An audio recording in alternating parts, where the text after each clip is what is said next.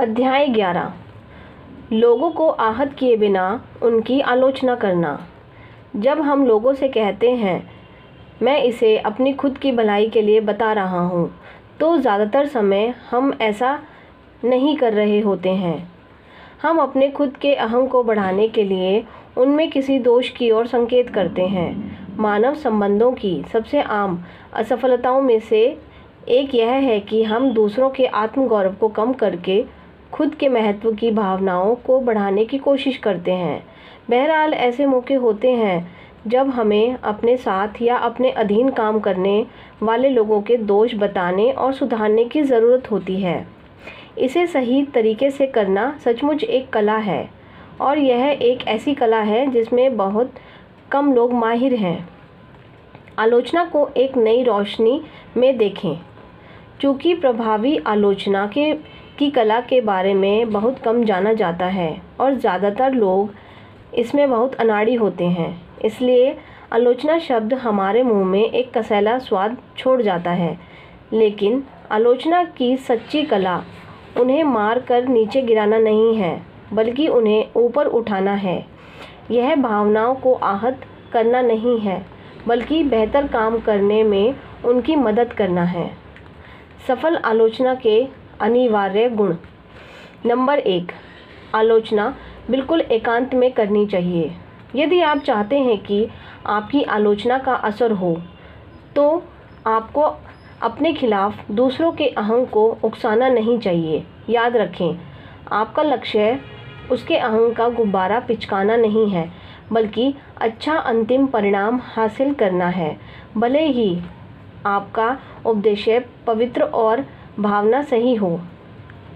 लेकिन असल महत्व की बात यह है कि सामने वाला इसके बारे में कैसा महसूस करता है। दूसरों के सामने हल्की सी भी आलोचना करने से द्वेष उत्पन्न होता है।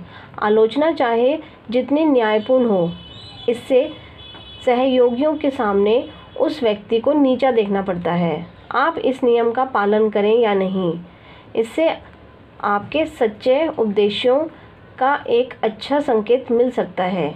क्या आप दूसरे श्रोताओं के आसपास रहने पर ही आलोचना करते हैं?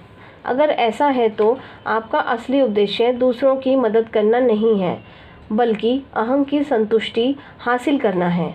नंबर दो, आलोचना की शुरुआत में कोई अच्छी बात कहें या प्रशंसा करें। अच्छे शब्द प्रशंसा और तारीफ़ दोस्ताना माहौल बना देते हैं। ये दूसरों को आरामदेह बना देते हैं और उनके रक्षा कवच को नीचे कर देते हैं। प्रशंसा और बधाई दिमाग को उस आलोचना के लिए खोल देती है, जिसे कहना आवश्यक है। नंबर तीन, आलोचना को अव्यक्तिगत बनाएँ। व्यक्ति की नहीं, काम की आलोचना करें। एक बार फिर, यहाँ आप व्यक्ति के बजाय कामों या व्यवहार की आलोचना करके अहंग को बीच से हटा सकते हैं। अपनी आलोचना उनके कामों तक सीमित रखकर आप उनकी प्रशंसा भी कर सकते हैं और उनके अहंग को भी बढ़ा सकते हैं। मैं पिछले अनुभव से जानता हूँ कि इस तरह की गलती आपके आम प्रदर्शन का हिस्सा नहीं है। नंबर चार, जवाब बताएँ। जब आप दूसरों को बताते हैं कि उन्होंने क्या गलत किया तो उन्हें यह भी बताएँ कि इसे सही कैसे करना है। ज़ोर गलती पर नहीं, बल्कि इसे सुधारने और दोबारा होने से बचाने के तरीके पर दिया जाना चाहिए। सबसे बड़ी शिकायतों में से एक यह है, मैं नहीं जानता कि मुझसे क्या अपेक्षा की जाती है। यदि आप लोगों को बता देते हैं कि सही क्या है तो ज़्यादातर लोग सही काम करने के लिए तत्पर रहते हैं। नंबर पाँच, सहयोग का आग्रह करें। इसकी मांग ना करें। मांग करने के बजाय आग्रह करने से हमेशा ज़्यादा सहयोग मिलता है। क्या आप ये सुधार कर लेंगे? से कम द्वेष जागता है, जबकि इसे दोबारा करें और इस बार देखते हैं कि क्या आप इसे सही कर पाते हैं। से ज़्यादा द्वेष उत्पन्न होता है। अगर आप बदलने का आदेश जारी करने के बजाय बदलने की इच्छा जगाने के लिए लोगों को उत्साहित करेंगे तो आप काफ़ी आगे तक पहुँच जाएँगे। नंबर छः एक अपराध के लिए एक आलोचना। एक गलती पर एक बार ध्यान दिलाना वाजिब है। दूसरी बार अनावश्यक है। तीसरी बार छिद्रान्वेक्षण है। आलोचना के लक्ष्य की याद रखें।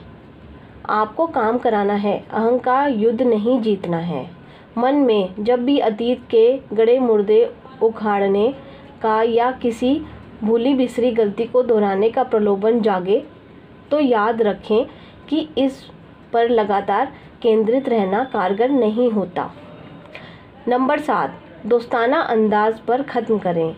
जब तक कि कोई मुद्दा दोस्ताना अंदाज पर ख़त्म करके ना सुलझाया जाए, तब तक यह पूरा नहीं होता।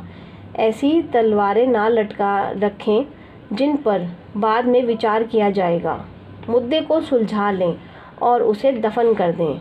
विश्वास जताते हुए अपनी बात पूरी करें।